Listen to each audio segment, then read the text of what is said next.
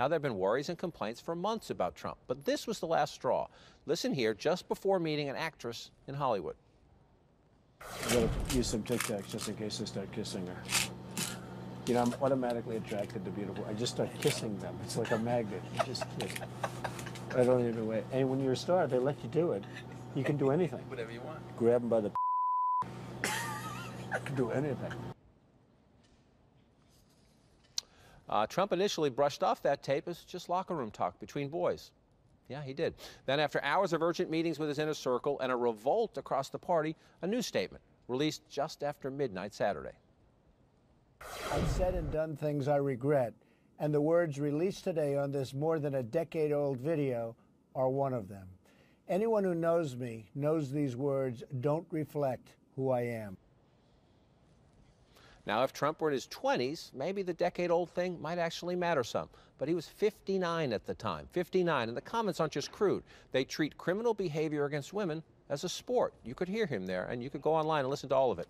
As for the statement that these words don't reflect who I am, well, we went through the tape library. The record might suggest otherwise. They said, How are you going to change the pageant? And I said, I'm going to get the bathing suits to be smaller and the heels to be higher. I view a, a person who's flat chested is very hard to be a 10. Uh. Okay. I've been with women with extraordinarily bad breast jobs. You could see there was blood coming out of her eyes, uh, blood coming out of her wherever. Simple question Can Donald Trump make the case that that's not who I am? No. right, yeah. No. Uh, it's. Let, let, me think about that. Yeah. No. And, you know, he tried to do, well, this was part of my the entertainment portion of my life, and I was just joking with my good buddy uh, Howard Stern. Uh, but in this example, right, I mean, he's this is him just talking and joking around uh, with Bill, Billy Bush. So I think the entertainment excuse uh, doesn't fly anymore. But I also think this, I mean, in talking to some diehard Trump supporters, uh, they have been in the trenches with him uh, all this time, uh, and I don't think this is going to move them at all. And in fact, one lady I talked to in New Hampshire, she feels more energized for him now than she did before. But I, I was actually in, in Colorado earlier this week hiking with uh, white suburban women, right, who are going to be the key factor, uh, college educated, in this election.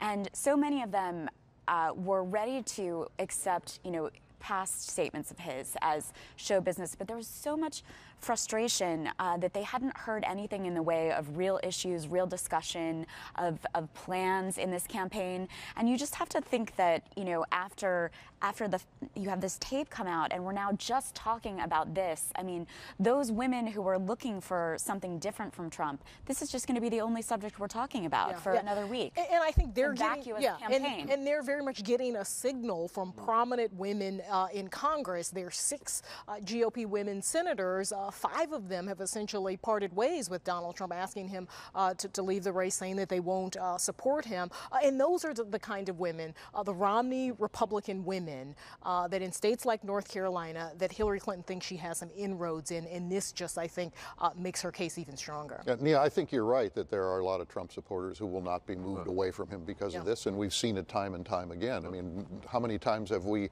overstated the impact of something he said or done that turned out not to be very significant? in terms of his level of support.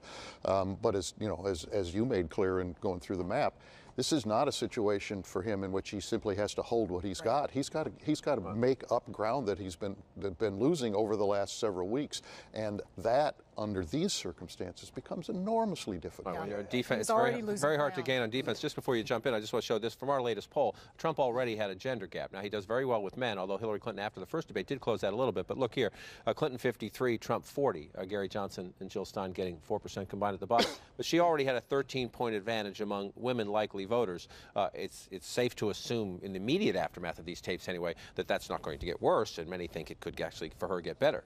Well, the interesting thing is, for all the talk about how unpredictable and dynamic the race is, Donald Trump has been stuck in just about the most narrow range of any modern candidate.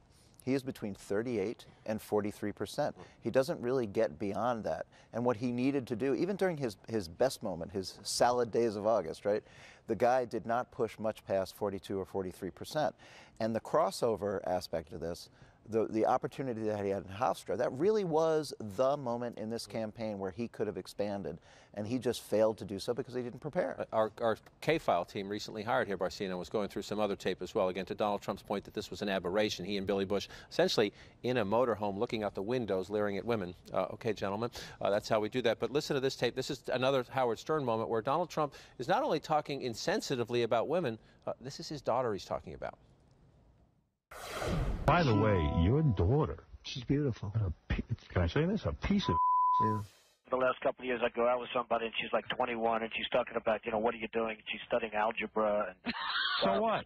and it's like, it was always embarrassing for me to walk in. It's too young. 30's like a perfect age. Absolutely, she has enough life experience. Until she's 35. yeah. Well, see, that's, that's too much. Too much life experience. And at 35 what is it at 35, Howard? It's called checkout time. Um, what is it at 35, Howard? It's called checkout time. That's Donald Trump's view of women. But early on in that interview, Howard Stern says, Is it okay if I call your daughter a piece of, I'm not going to say the word on a Sunday morning. And Donald Trump says, Yeah.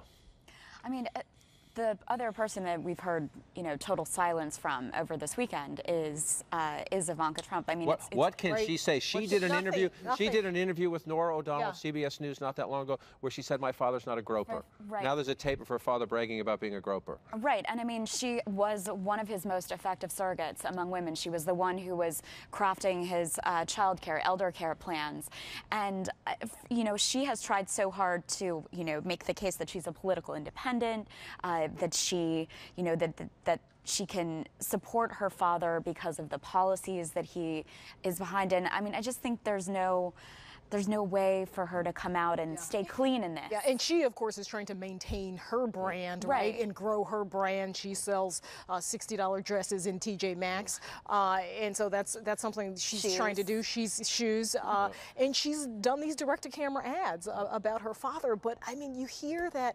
I mean, every single time it sounds disgusting and deplorable and awful. Another big question. Melania Trump issued a statement yesterday saying what her husband said on that tape was offensive, but that she had accepted his apology, and she hopes the American people accept his apology. It'll be very interesting to see whether she's here with him tonight.